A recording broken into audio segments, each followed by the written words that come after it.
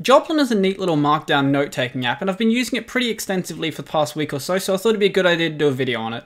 So if you're new to the channel, remember to subscribe and ding the little bell icon down below because it'll really help the channel out. I'm trying to hit a thousand subs by some point in the near future, so any help will be really appreciated. So now that's out of the way, let's get started.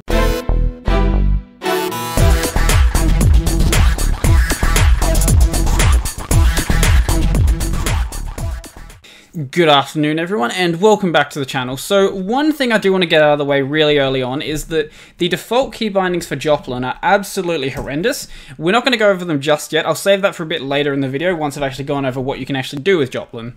So, it's got a desktop version and a terminal version. We're going to go through the terminal version today. I might do a, another video on the desktop version, but this is one that I've been using lately. So, I've got it bound to JP just so it's a bit easier to open up. And this is what it looks like by default.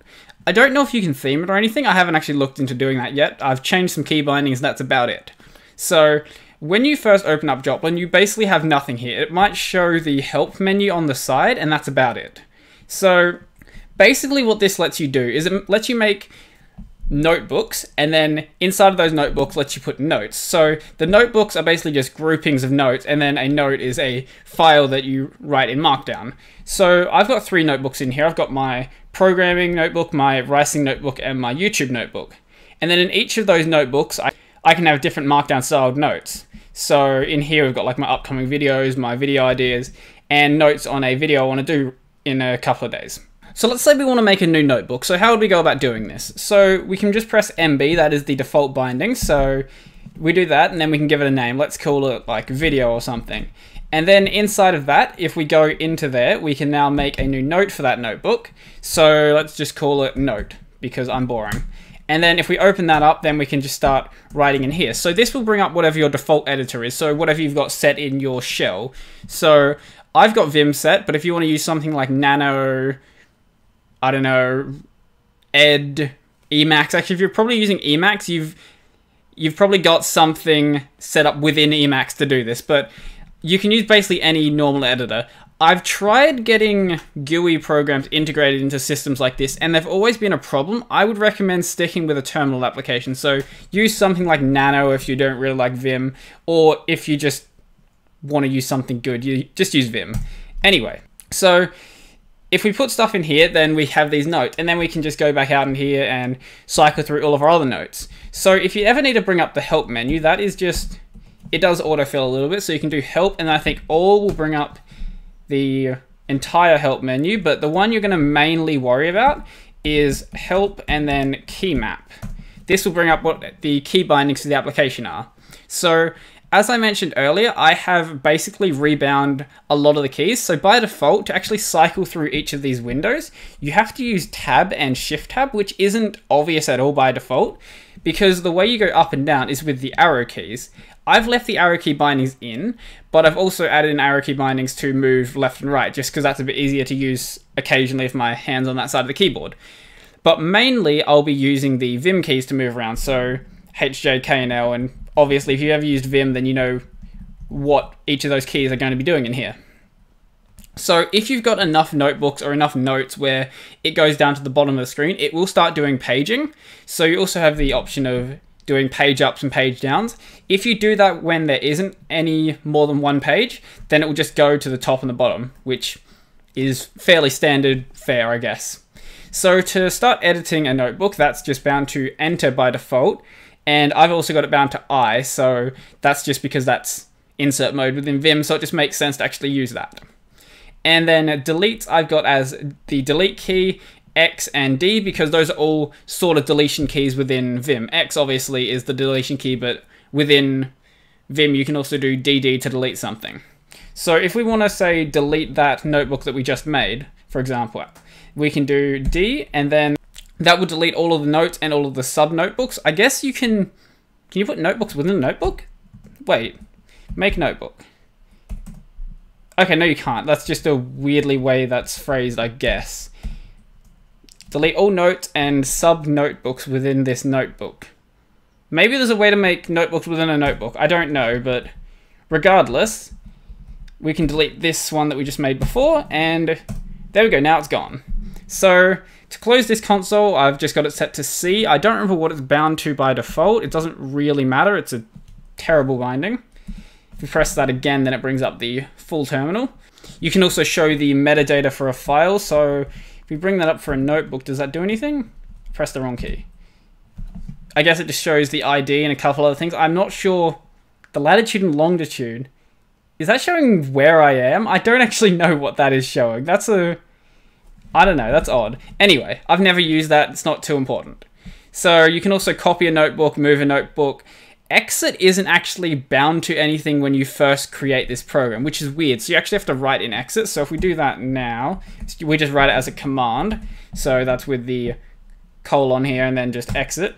And then that will quit out of it. It doesn't, usually it'll clear this off, but I guess it didn't do it that time. I'm not sure why. Odd. Okay, anyway. Sometimes it acts weirdly because terminals are weird sometimes. I think that might just be a ST problem, not a Joplin problem. Anyway, it also doesn't have the ability to clear any to-dos, so you can actually turn any of these notes into a to-do. It shows up here that you can actually make a to-do from scratch, but you can actually just turn any note into a to-do as well. So if you want to say change upcoming videos into a to-do, we can just press space, and then it adds this little bracket here, and then you can just say, oh, that's finished now. Or if we want to turn that back into just a regular note, then we can press T and that, that'll clear that off. That one isn't bound by default either. So, yeah, this is pretty much what Joplin is. So, I don't know what you're going to use it for. I typically use it for just keeping track of video ideas and random other ideas I have because I am a very forgetful person. So if I don't write something down within a couple of minutes of thinking of it, I'm probably going to forget about it. I'm not the kind of person who likes to like meticulously plan out my day.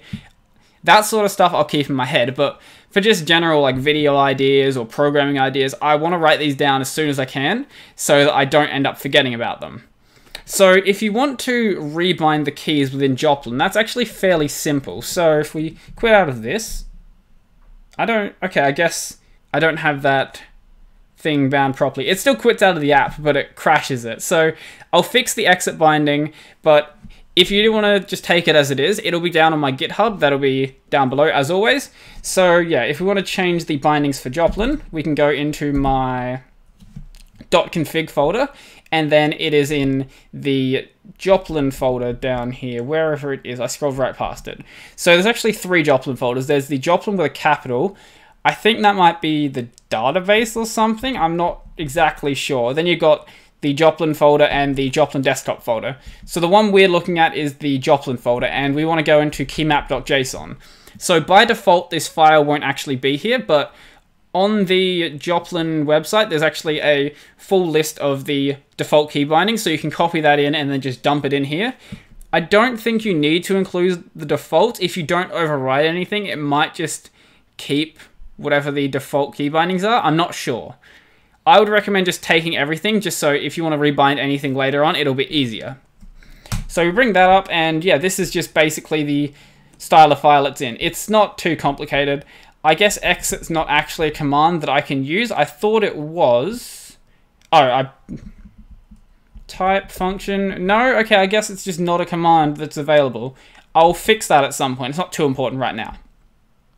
So yeah, let's say we wanted to rebind something like focus next, and that is to go into the next window.